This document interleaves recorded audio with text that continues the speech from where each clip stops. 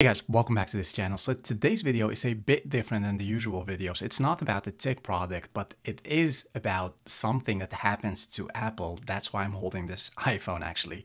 Uh, it's about a hostage taker that went to an Apple store here in Amsterdam and how the story went on Twitter is that he asked for ransom. So it all happened about 5.30 p.m. Central European time and this man went into the Apple store. He was shooting and there was the security guy running outside calling the police because no one had any idea what was happening. Some people thought there was firework going on, but actually what they hear was this man shooting with a handgun. So the first footage of this man taking a hostage went on on Twitter and this is what people were filming. There are actually caf cafes in front in front of the Apple store and as we see here is that the hostage taker is like pointing outside. He's taking the hostage on his arm with a gun and at first, police thought the hostage taker was carrying a bomb, but eventually it was just a bulletproof vest. But that's what we will discover later on. Well, quick after that, security guy called the police. Police was just everywhere. That whole square that's called Leidseplein was closed up. There were police everywhere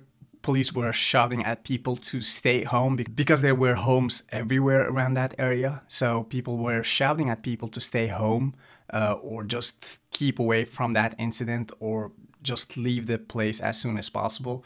They closed that whole square and no one went in that square. Quick after the people from the arrest team, I'm not sure how they call it in the US, but here in Holland they call it arrestatie team. They came as quick as possible. There was also a helicopter uh, flying around, flying above that area.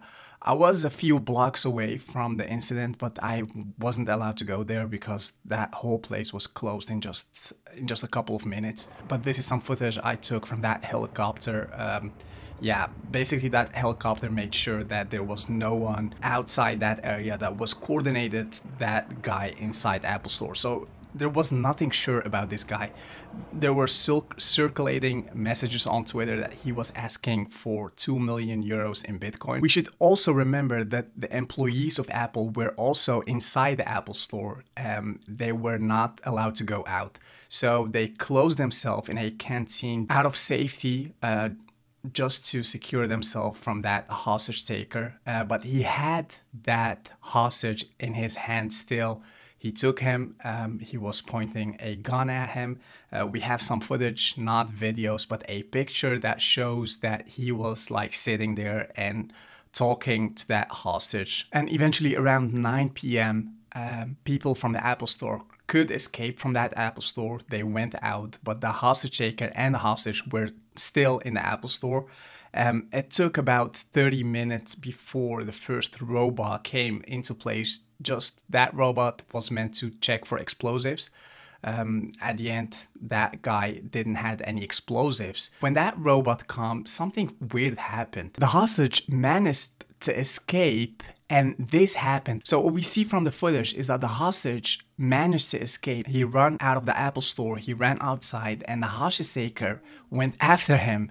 And in just a flash he got hit by the by a car so just to be so just to make things clear the hostage taker was the one that was hit by a police car. So they managed to hit him as hard as they could so that the hostage taker was just was just out. Uh, we are not sure we're not sure what the status of that hostage taker, but the hostage managed to escape and he is safe now, um, according to some newspapers.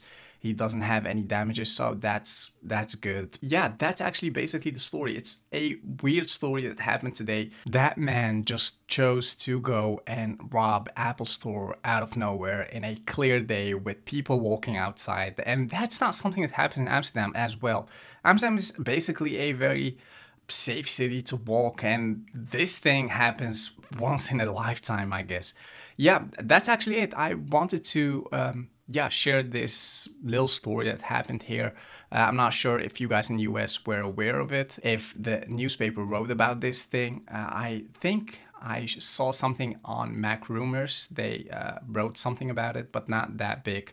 So I guess it's not that big of a deal over there or some somewhere else in the world. But it was something, was a big of a deal here in, in the Netherlands. Yeah, and that's actually it. Um, if there's anything more about it, I'll leave an update about it on YouTube or Twitter. You can follow me over there. Um, for you, for the guys who don't know, I have a Twitter account. I'm not that active on it yet, but uh, I'm planning on to um, yeah post more often on Twitter so that you guys keep um, getting information about tech products because that's what this channel is all about.